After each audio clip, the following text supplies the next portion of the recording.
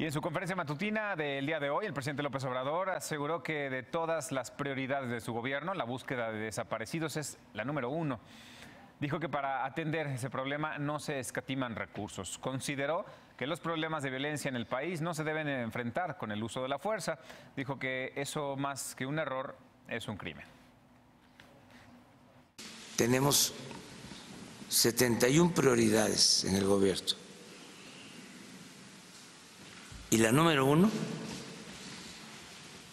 es la búsqueda de desaparecidos. No se están escatimando recursos. Eso ya lo decidimos en todas las evaluaciones que hacemos, es el primer tema. Alejandro Encinas va personalmente